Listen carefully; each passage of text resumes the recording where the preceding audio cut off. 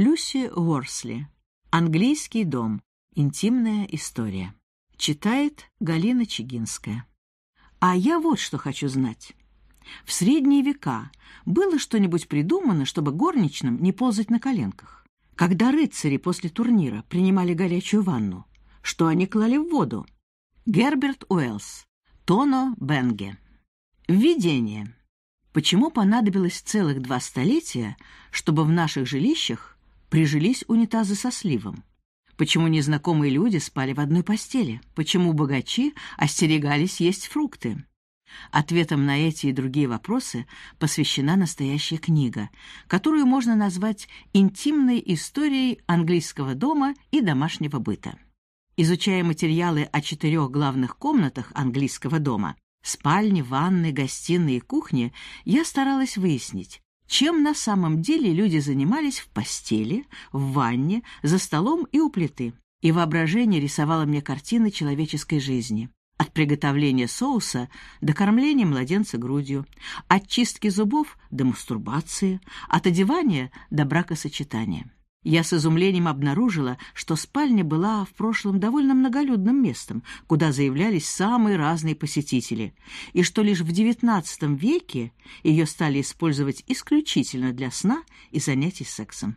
Ванная, как самостоятельная комната, появилась только в конце викторианской эпохи, причем случившиеся с ней трансформации были вызваны не техническим прогрессом, а изменением отношения человека к личной гигиене. Гостиная возникла не раньше, чем у людей появилось время для досуга и лишние деньги на ее обустройство. Я пришла к выводу, что гостиная — это своего рода театральные подмостки, на которых хозяева дома разыгрывают перед гостями идеализированные сцены своего семейного быта. История кухни неотделима от истории питания, транспорта, развития технологий и взаимоотношений между полами. Осознав это, я и собственную кухню увидела в совершенно ином свете. В книге много мелких, на первый взгляд, излишних подробностей, но мне показалось, что с их помощью легче оценить серьезные, даже революционные перемены в обществе.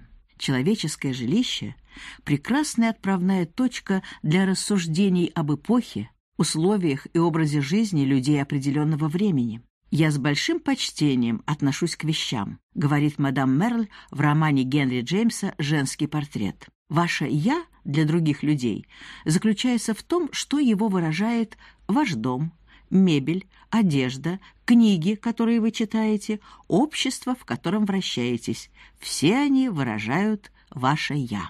«Окиньте взглядом свою комнату, и что вы увидите?» — спрашивал Джон Рёскин в 1853 году. Сегодня ответ на этот вопрос, разумеется, звучит так же, как и тогда. Мы видим самих себя.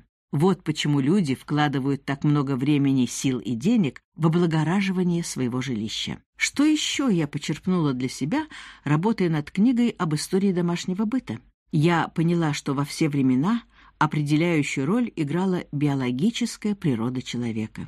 Общественные перевороты, даже самые значительные, очень мало влияют на то, как человек заботится о собственном теле. Путешествуя по страницам этой книги из далекого прошлого к современности, вы заметите, что в целом условия жизни улучшались. Жесткие законы, регулирующие поведение человека в обществе, мало-помалу смягчались. Благодаря удивительным изобретениям исчезали бытовые проблемы. Так что надежда на лучшее будущее есть и у нас. Правда, мы не знаем, каким оно будет, но история, я уверена, укажет нам верный путь. Меня до сих пор не покидает поразительное ощущение, что я как будто наяву общалась с людьми, жившими давным-давно, представителями всех слоев общества от крестьян до королей. Вглядитесь в глубину веков и вы убедитесь, что наши предки были очень похожи на нас в том, как жили, любили и умирали. Самая радостная из всех историй, писал Джон Бидл в 1656 году, это история жизни и быта человека. Она возрождает прошлое, воскрешает тех, кого давно нет в живых. Собирая материал для книги, я обращалась за помощью к двум основным источникам, не считая библиотек, разумеется. Во-первых, сотрудничая с организацией «Исторические королевские дворцы», я хорошо знаю специалистов, которые занимаются воссозданием атмосферы прошлого. Я подробно обсуждала с ними темы, затронутые в моем исследовании. Во-вторых, мне выпала честь вести цикл передач, посвященных истории английского дома на телеканале BBC. Работая над этим проектом, я пыталась повторить многие действия и ритуалы, описанные в книге. Начищала до блеска викторианскую кухонную плиту. Таскала горячую воду, чтобы наполнить безмерную ванну. Зажигала уличные газовые фонари.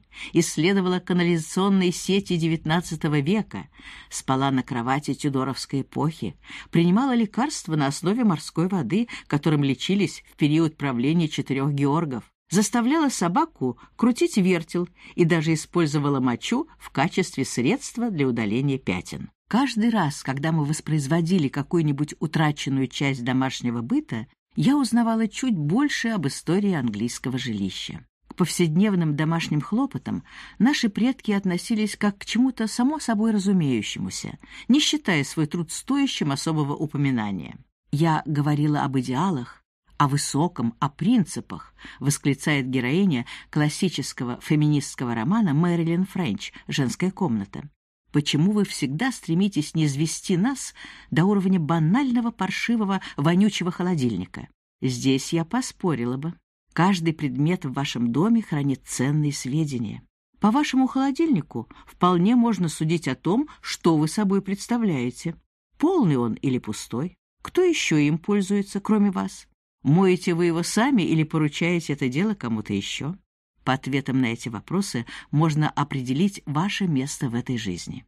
Как выразился доктор Джонсон, сэр, для столь незначительного существа, каким является человек, мелочей быть не может.